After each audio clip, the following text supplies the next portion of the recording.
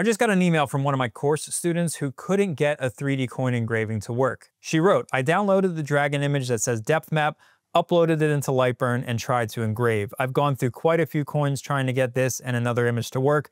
I know these settings work, but it's not even making the change in noise that it usually does when the laser is actually removing material. So I had her send me some screenshots of the exact Lightburn settings that she was using, and everything checked out. Those are often the settings that I use for my own coin engravings. I also asked her to send the image itself, and honestly, once I saw the depth map, I was already pretty sure I had a good idea of why it wasn't working before I even ran it. I still went ahead and bought the same file off Etsy just to confirm. This wasn't a laser problem, it wasn't a settings problem, this was a depth map problem. So I ran the file exactly the way she did. The laser is firing, material is being removed, but visually, nothing is really changing. This is exactly what she meant when she said it wasn't even making the usual change in noise that it does when you're running a depth map file. At this point, a lot of people would assume something's wrong with the laser or the file settings, but it isn't. Lightburn is doing everything you told it to. Everything up to this point is just top level layers being removed evenly. Now, here's the important part. It took 48 layers engraved before the top of the image started to reveal itself. You can see that little piece right there on the camera. I'll circle it. And that lines up perfectly to what she was seeing. It seems like something's going wrong,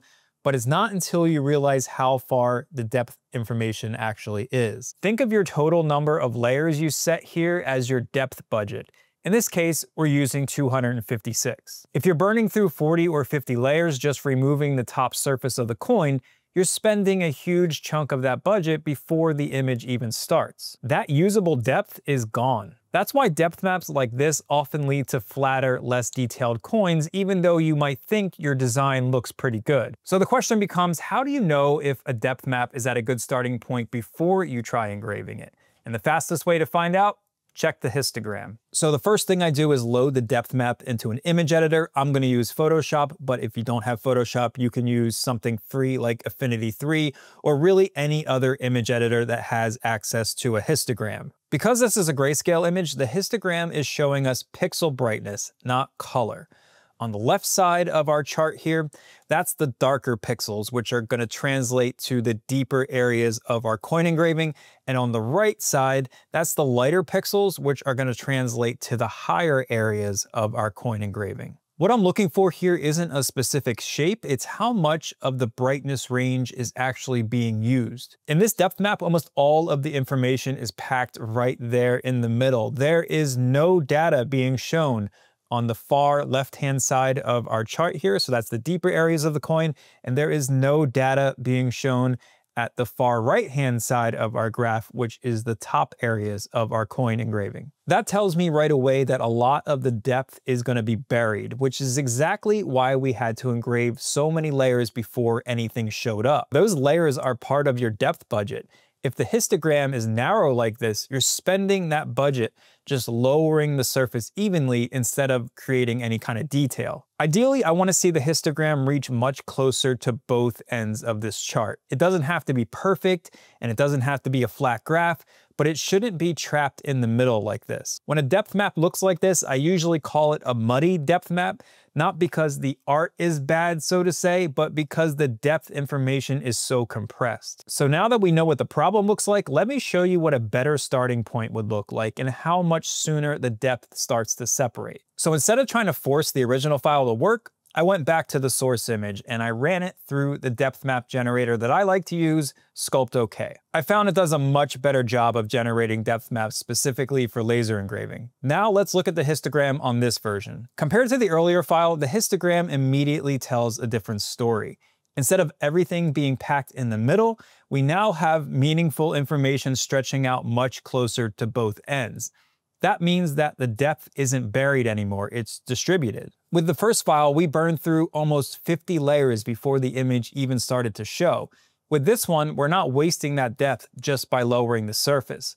Those layers can actually be used to create shape and detail and depth. Just based on this histogram alone, I'd expect this version to start separating almost immediately. Now let's run the new depth map with the same exact settings. And there it is. There's the difference.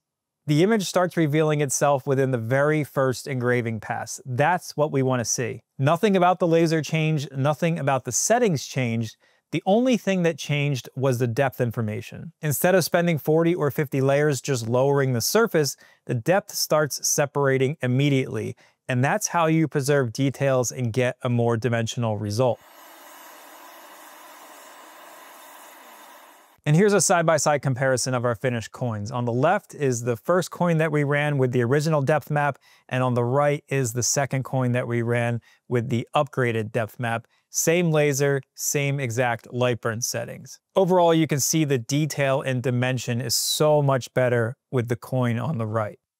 So before you engrave any depth maps, especially ones that you didn't create yourself, there are a few things to keep in mind. First, not all depth maps are created equally for laser engraving. So depth maps are used for all different types of things, uh, photography tricks, 3D renderings, animations, gaming assets, and not all depth map generators are going to produce a result that are suitable for laser engraving. So just because you download a file off the internet or buy a file on Etsy that's labeled a depth map, it doesn't automatically mean it's going to work well for engraving. The second check is a really simple visual one. When you look at your depth map, just ask yourself, does this look very gray overall? If there are no very dark areas and no very light areas, that's gonna be a red flag. Because as we learned today, images like that hide all their depth information in a really narrow range in the middle, which leads to a flat looking coin. That's exactly what we saw with the Dragon file. The first thing I notice when looking at this file is just overall how flat and gray it looks. And the final check, the histogram. Open up your depth map in an image editor and see how much of the brightness range is actually being used. You ideally want to see data spanning from all the way to the left side to all the way to the right side.